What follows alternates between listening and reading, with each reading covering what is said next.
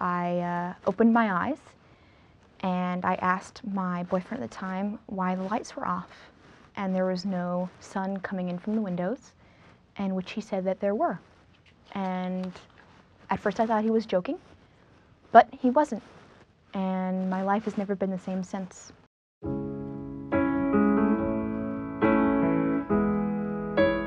Hello, everyone. I'm Julian, and I am legally blind. Hi, I'm Brit Winner, and I'm blind as well as visually impaired. The titles, visually impaired and blind, is very personal for everyone in our community, so we all identify differently. I use both uh, because I am both. It's a daily learning experience having to learn how to do things with changing vision, especially when it's decreasing. Sometimes I can see a little bit, um, but it changes by the minute.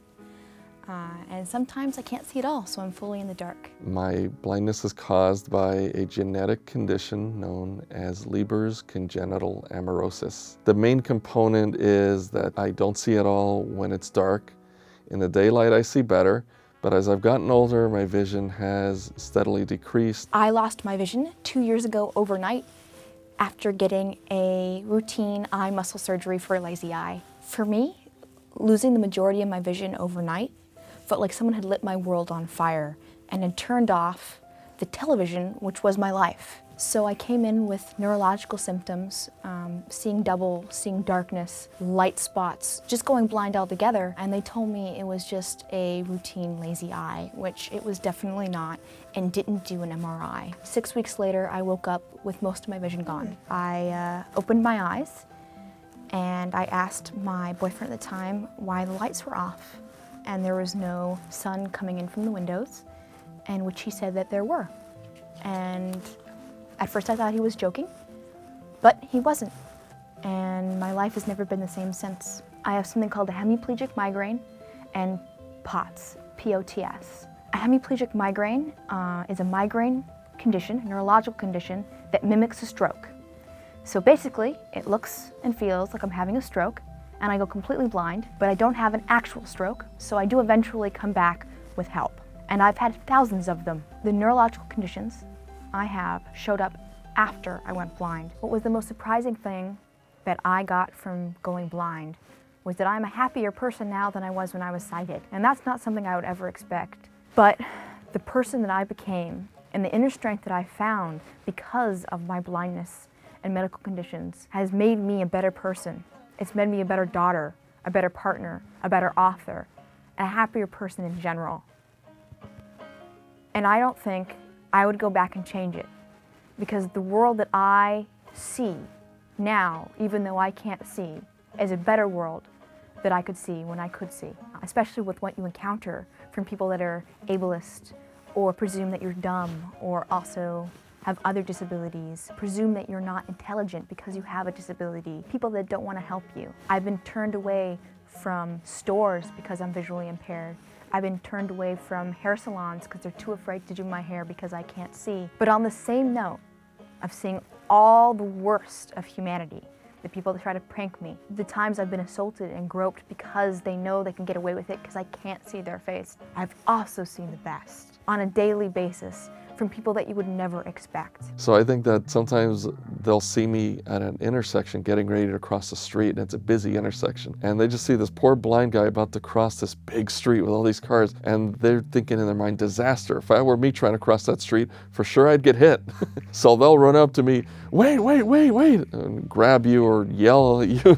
That's a little uh, disconcerting to me because I'm trying to listen to the traffic. That's how I cross the street, is I listen and pay attention to the flow of the traffic. Sometimes their idea of help isn't my idea of help. If they were to put themselves in my shoes, some stranger comes grabbing you and yelling at you, what are you gonna do? Your first instinct is to try to push that person away. And I always try to do it positively because I just don't feel like you should discourage somebody from being helpful. But I think that you take the opportunity when it lends itself to teach them how to do it correctly. Putting your hands on somebody uh, unsolicited is never a good idea.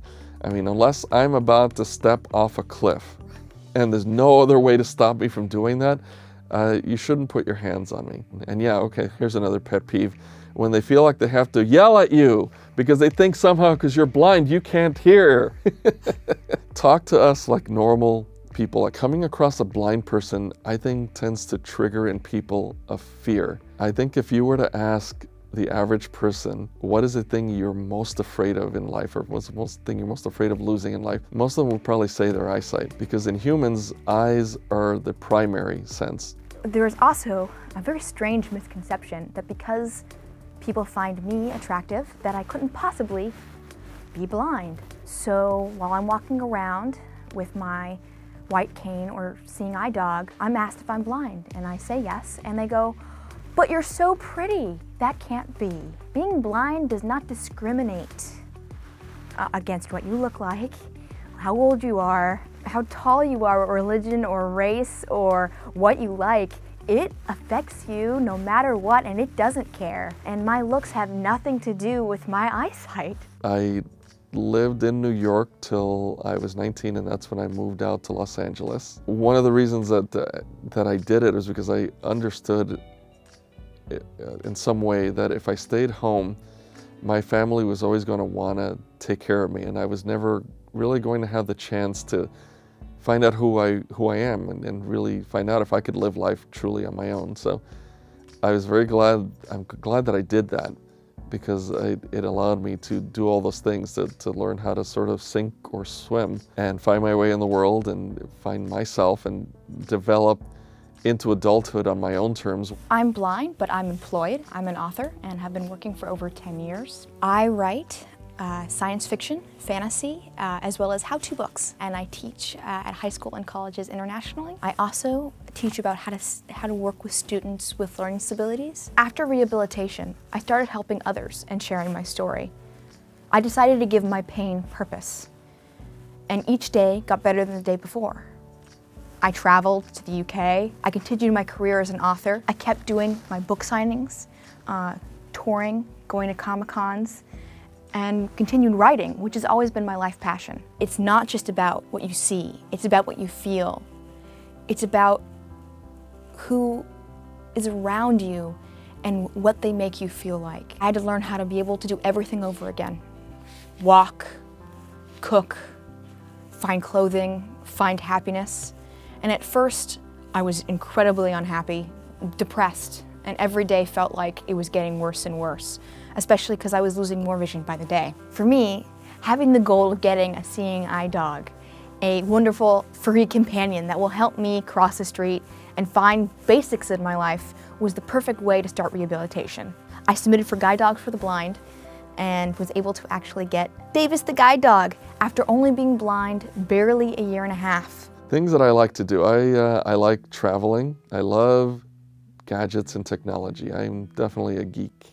so as a result, I've been able to turn that into something positive in my life because that's what I do is I teach other blind people how to use all of these modern devices, iPhones, Android phones, things that are touchscreen. I guess that's another misconception that some people have is they think, how could a blind person use an iPhone?